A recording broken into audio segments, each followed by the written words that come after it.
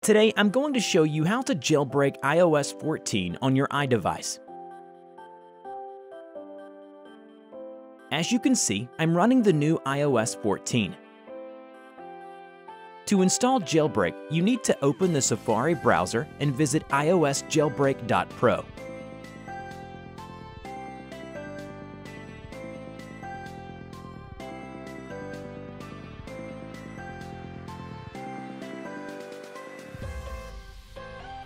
Once you are there, you need to select your device model and version of iOS.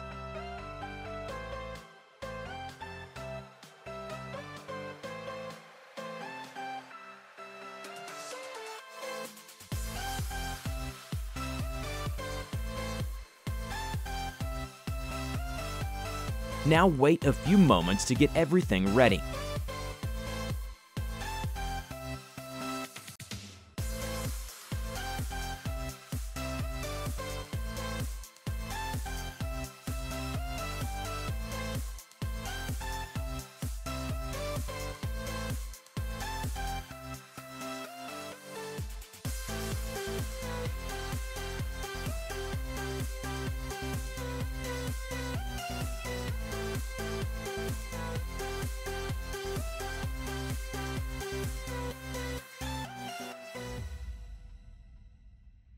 To complete the process, you need to install one of these apps and keep it running for about 30 seconds.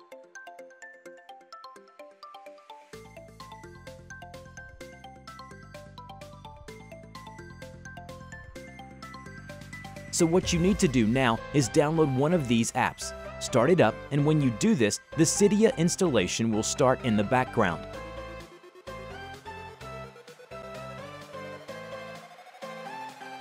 You need to start the app and keep it running for about 30 seconds.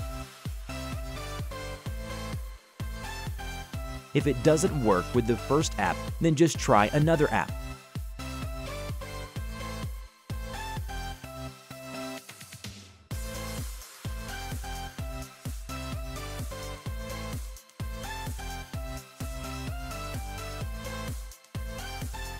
If it doesn't work on the first try, just try again with a different app.